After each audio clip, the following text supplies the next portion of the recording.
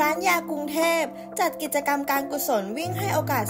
2024 ต่อเนื่องเป็นปีที่ 2 โดยวัตถุประสงค์เพื่อส่งเสริมให้ประชาชนดูแลสุขภาพด้วยการออกกำลังกาย ซึ่งรายได้จากค่าสมัครทั้งหมด ไม่หักค่าใช้จ่ายมอบให้กับมูลนิธิสร้างรอยยิ้ม เพื่อนำเงินไปใช้ในการรักษาเด็กที่มีภาวะปากแหว่งเพดานโหวให้มีโอกาสได้มีรอยยิ้มที่สดใส เป็นการช่วยรักษาแผลทางใจ ทำให้ชีวิตมีคุณภาพขึ้นได้ โดยได้รับการตอบรับจากนักวิ่งกว่า 2,000 คน และมียอดบริจาคทั้งสิ้น 1 ล้านบาท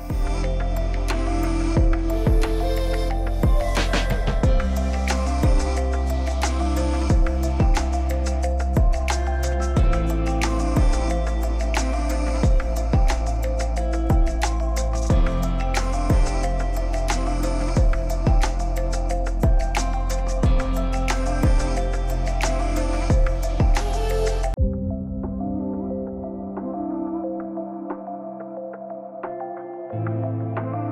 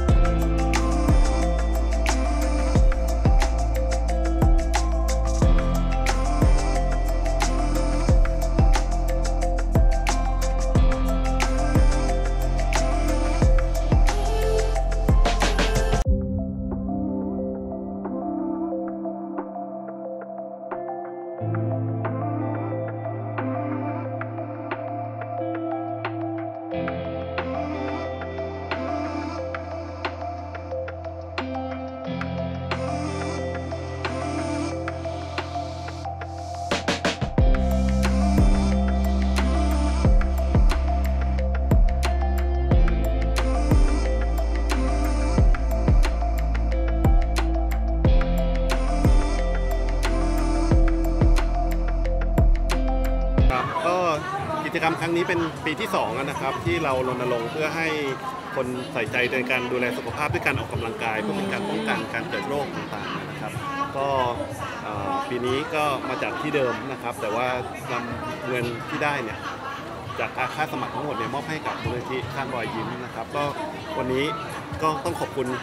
คุณแอนมากนะครับ ที่ให้เกียรติมาร่วมงานแล้วก็สนใจมาร่วมงานเป็นครั้งแรกนะครับมาวิ่งเป็นครั้งแรกของของพี่แอนเลยใช่ค่ะนรับสู้ๆค่ะ ก็เป็นวัตถุประสงค์ของเราเลยครับที่อยากให้ให้คนเริ่มต้นออกกำลังกายหันมาเริ่มง่าย ๆ ด้วยการวิ่งครับผม ใช่ค่ะก็ก็ดีใจค่ะจริงๆ แล้วพอ พอเอ่อได้รับการติดต่อมาก็รู้สึกว่าเออก็มีความตั้งใจว่าอยากจะลองทดลองลองวิ่งดูอะไรอย่างเงี้ยนะคะเพราะว่ายังไม่เคยได้มีโอกาสได้วิ่งจริง ๆ จังๆสักทีอันนี้ก็แบบตั้งใจเลยค่ะเพราะว่าได้แบบหนึ่งคือสร้างสุขภาพด้วยแล้วก็ได้บุญด้วยครับได้ได้ร่วมกันครับมอบ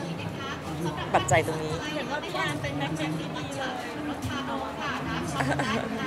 ค่ะเห็นว่าพี่แอนเป็น magnet ที่ดีเลยเพราะพี่แอนทุกคนรู้ว่าพี่แอนวิ่งก็คือวิ่งสมัครเราว่าครั้งแรก ใช่ครับใช่ครับ ปีนี้คนสมัครมากเกินคาดจริงๆ ต้องขอบคุณจริงๆครับที่พี่แอนมาช่วยประชาสัมพันธ์ด้วย แล้วก็มาร่วมงานด้วยในวันนี้ ค่ะวิ่งวิ่งไปด้วยกันเพื่อสุขภาพที่ดีนะคะ ครับ แล้วก็ได้บุญด้วยค่ะ ครับไม่น่าจะเห็นว่าชวนแฟนกลับมาวิ่งด้วย ใช่ค่ะก็มีน้องๆมาร่วมวิ่งด้วยกันนะคะ หลายๆ คนก็เอ่อวิ่งอยู่แล้วแล้วก็หลายๆ คนก็มาวิ่งแบบร่วมกันแบบให้กำลังใจแอนด้วย ก็ก็เตรียมตัวนะคะ ตอนแรกคือจริง ๆ ปกติก็ออกกำลังกายอยู่แล้ว แต่ว่าเป็นเป็นแบบอื่นอะไรอย่างเงี้ยนะคะ ก็ตีเทนนิสบ้างอะไรบ้าง แล้วก็ออกกำลังกายเป็นเวทเป็นอะไรบ้างแต่ว่ายังไม่เคยเป็นวิ่ง ซึ่งมันมันมันใช้